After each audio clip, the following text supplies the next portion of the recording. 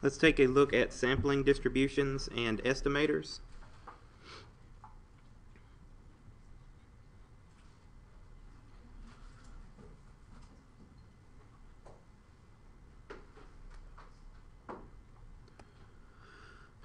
All right, the main objective of this section is sampling distribution of a statistic. So when we talk about of a statistic, uh, we may be looking at a sampling distribution of a mean.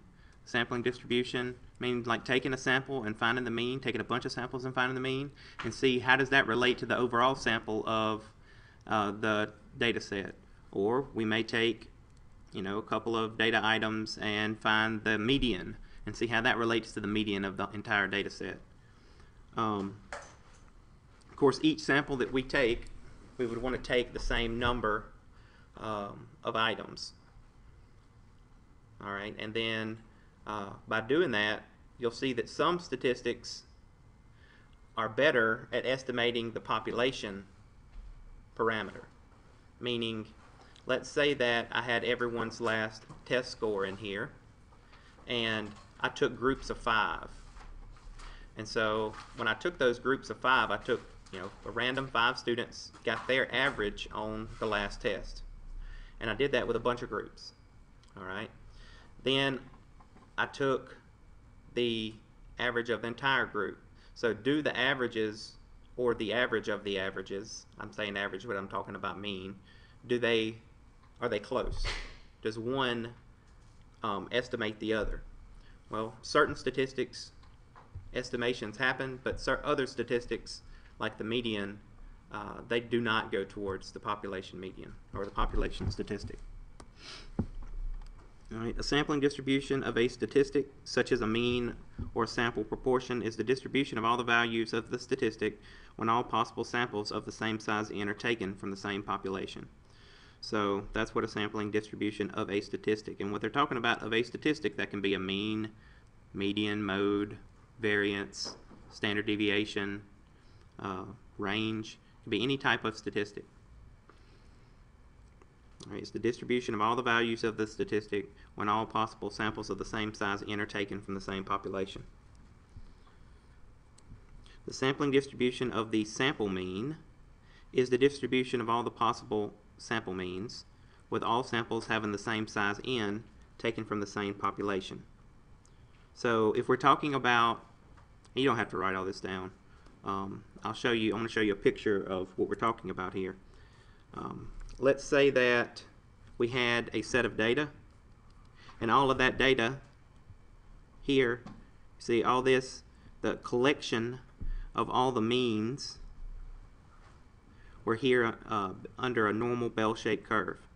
Then, when I find the mean of all these means, that's population mean, do each one of these means that I, that I take separately and look at, do they target or do they estimate the population mean? So if I looked at the mean of the means and got a population mean, do the individual means target that population mean? That's, that's what we're looking at um, if we look at a sampling distribution of a mean or of a sample mean. All right, sample means do target the value of the population mean. That is, the mean of the sample means is the population mean. So means do target the population mean. Sample means target the population mean. Uh, I know in a lot of your homeworks there'll be a question when you figure out maybe the mean of a bunch of different sets, then it'll say, does this target the mean of the population? Uh, and if we're talking about means, it should. They should target because they do. Sample means do target population means. And then another uh, neat fact, the distribution of sample means tends to be a normal distribution. So kind of bell-shaped. Now you do have to take, you can't just take a random sample and stop with, say, five random samples. You have to take all possible random samples. So if I was doing that thing about taking five students out of this class and getting the mean of your five tests, I would need every possible outcome or every possible uh, sample. And so the larger the number, the larger like the the total data items, the more work you would have to do. Most of these on the homework, you only have three, four, five data items because it would be a lot of different uh, samples that you'd have to look at. All right, sampling distribution of the variance. So instead of the mean, we're looking at the variance. Sample variances target the value of the population variance. That is, the mean of the sample variances is the population variance. All right. So if you have maybe every possible sample gives you 12 different uh, sets of items, sets of data items, and then you took the variance of all of those. Then the mean of the sample variances is the population variance.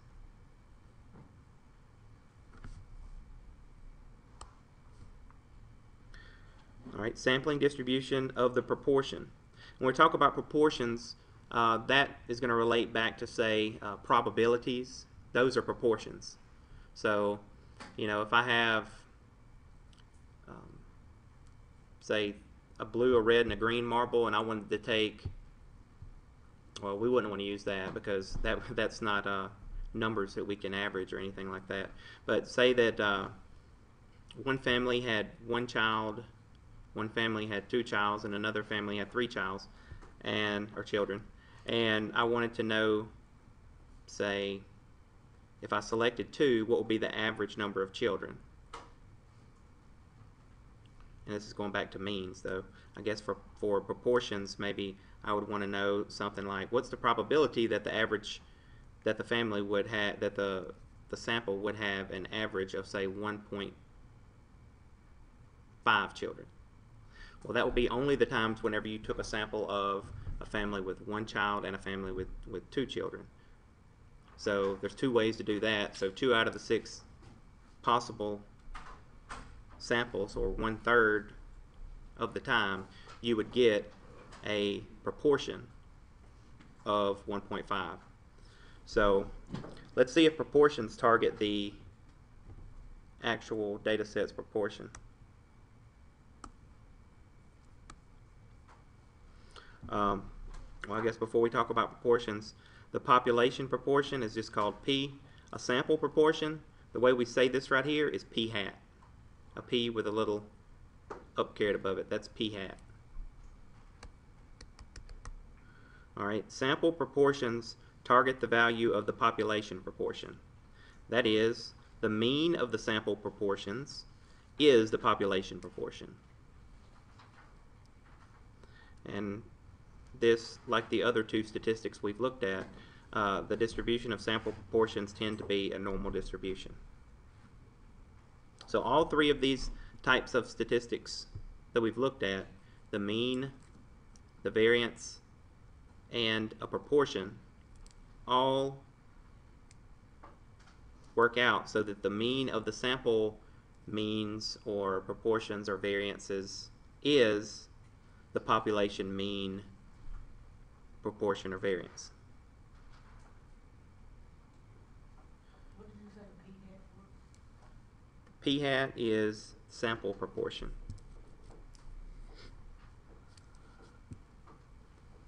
Alright, so means, variances, and proportions are called unbiased estimators. That means that they target the population parameter of mean, variance, or proportion. These statistics are better in estimating the population parameter. Biased estimators are medians, ranges, and standard deviations. Those three do not target the population parameter. It says the bias with standard deviation is relatively small in large samples, so S is often used to estimate. It's kind of strange how the variance does target the population variance, the sample variance targets the population variance, but the standard deviation, which is the square root of the variance, does not target the population standard deviation. But it says that the error is so small that it is still used to estimate the population uh, standard deviation. Okay. Consider repeating this process. Roll a die five times. Find the mean x bar, the variance s squared, and the proportion of odd numbers of the results. What do we know about the behavior of all sample means that are generated as this process continues indefinitely? We know that whatever we get for the mean, the variance, or the proportion of odd numbers, will target what we would get if we were to do this an infinite number of times. So it will give us uh, very close to what we would get if we did that we rolled the die an infinite number of times. That's because the mean, the variance, and a proportion are unbiased estimators.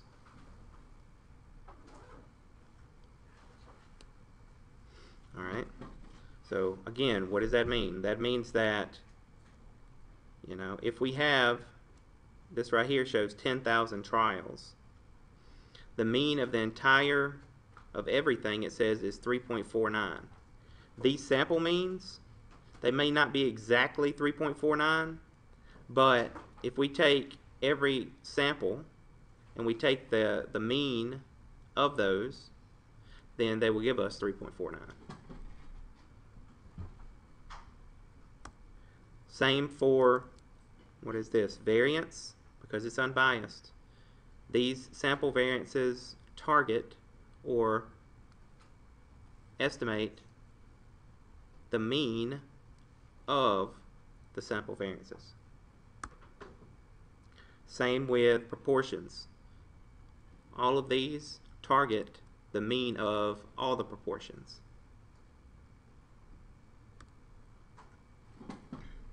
Uh, sampling without replacement would have a very practical advantage of avoiding wasteful duplication. However, or whenever, the same item is selected more than once. So let me go back through that because me saying however kind of mess that up. Uh, sampling without replacement would have the very would have the very practical advantage of avoiding wasteful duplication whenever the same item is selected more than once. However, we are interested in sampling with replacement for these two reasons.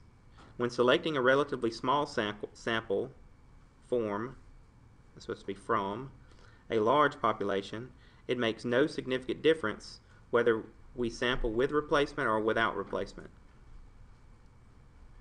Sampling with replacement results in independent events that are unaffected by previous outcomes, and independent events are easier, easier to analyze and the results in simpler calculations and formulas. So without replacement does kind of complicate things a little bit. All right. The last slide here, many methods of statistics require a simple random sample. Some samples, such as voluntary response samples or convenient samples, could easily result in very wrong results. So like, you know, if I'm doing a study and I have a voluntary response sample, then the stuff that we've talked about may not apply because, um, you know, the only people that do usually do voluntary response samples or convenient samples are people who are either bored or people who have something to complain about generally. So just be careful when applying this to something like that. All right, and so that is all that section 6.4 talks about.